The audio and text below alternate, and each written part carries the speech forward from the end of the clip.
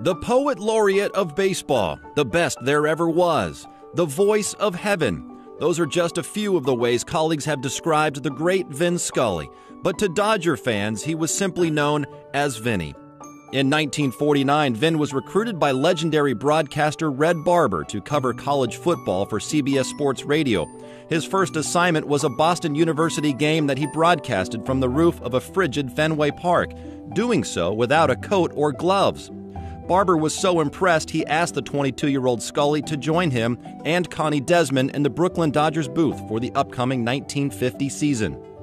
After Barber left the Dodgers in 1953, Scully became the youngest man ever to broadcast a World Series game at the age of 25. When Dodgers owner Walter O'Malley moved the franchise west to Los Angeles in 1958, he didn't hesitate to bring his broadcast team of Jerry Doggett and Vin Scully with him. Together, they played a pivotal role in introducing Los Angeles to professional baseball and their boys in blue baseball remains the perfect canvas for Vin's artistic broadcasting palette, it was only fitting that Scully continually found himself in the catbird seat for the game's biggest moments. What a marvelous moment for the country and the world.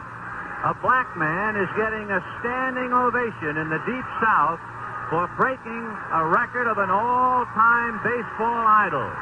It looks like he's going to burn a flag, and Rick Monday runs and takes it away from him. And so Monday, I think a guy was going to set fire to the American flag. Can you imagine that? He's got it. The Los Angeles Dodgers have just about done the impossible. In total, Vin Scully called 25 World Series, 12 All Star games, 3 perfect games, and 18 no hitters. But perhaps he saved his best work for the single most important swing in the Dodgers' 100 plus year history on that fateful night in October of 1988.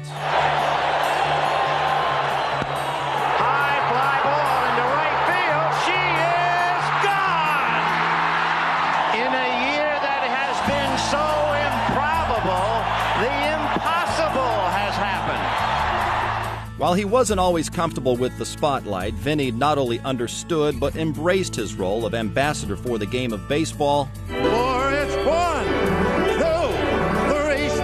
You're out at the old ball game.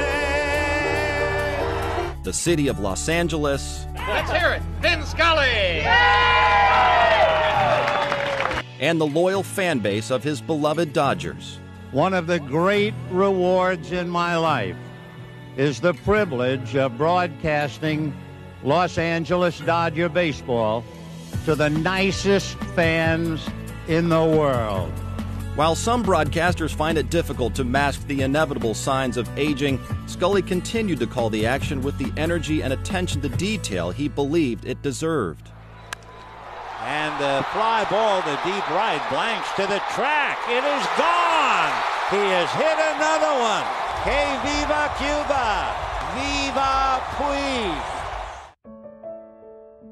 Despite not traveling during his 67th season, he went to San Francisco for the season ending series, and for the final time in his career, Vin Scully called Dodger baseball. So, this is Vin Scully wishing you a very pleasant good afternoon wherever you may be.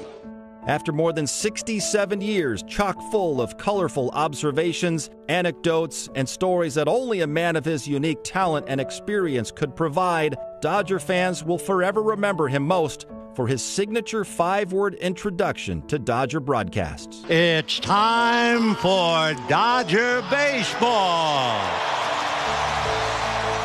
The game goes on, and so does Vin Scully's memory.